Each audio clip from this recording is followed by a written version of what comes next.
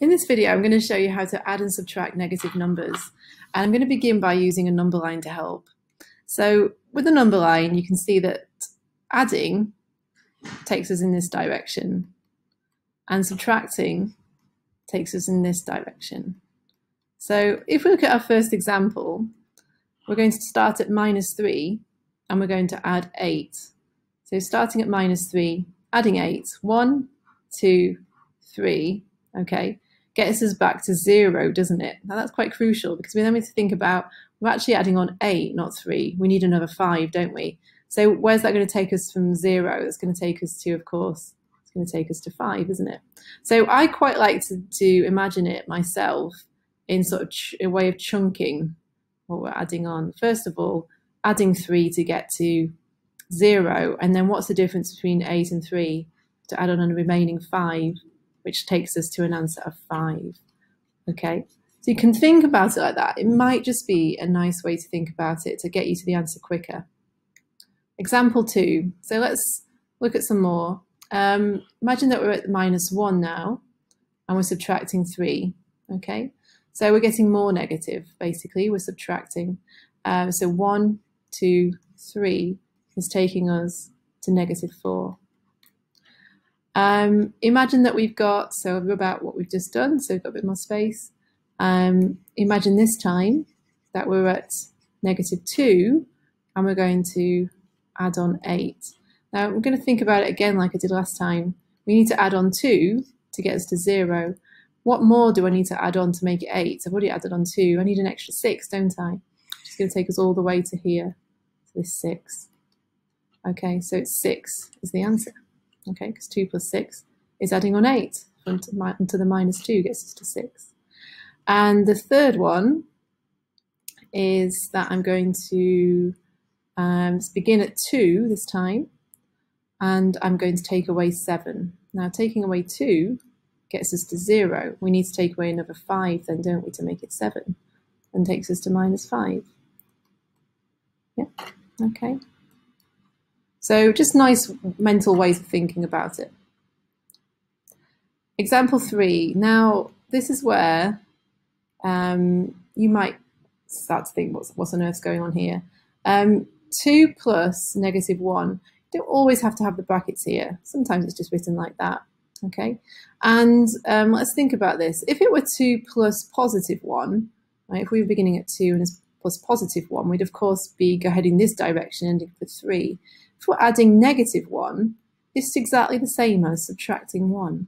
So here's a top tip um, when you've got this. If you have plus and minus next to each other like that, it's just the same as subtraction. It's just 2 subtract 1. So the answer here is 1. You can see we've got there. Your turn. Um, have a go at this one then. If we're at three and we're adding subtract four, say that again.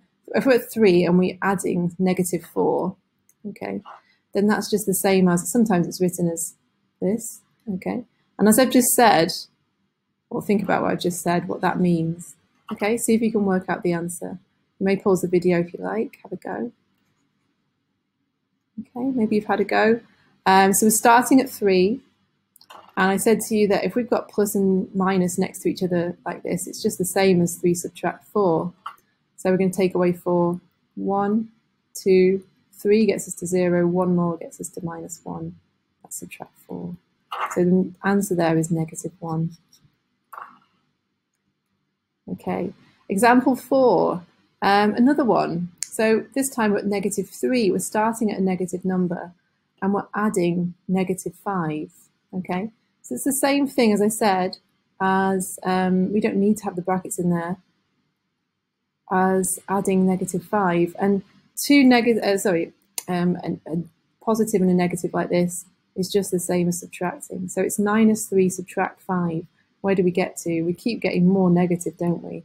6, 7. I think we're going to end up at negative 8. Negative 8.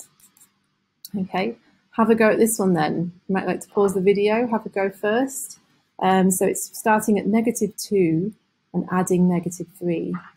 Where would we get to? Okay, so it's exactly the same as that. We can remove the brackets if we like.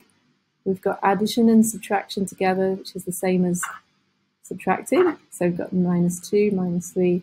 We should get minus 5. Okay.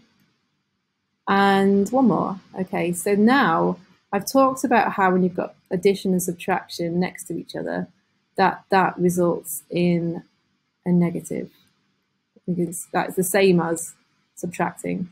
What about if we've got two negatives next to each other? What do you think happens? Well, you probably guessed. It's the same as that. Okay, same signs make a positive.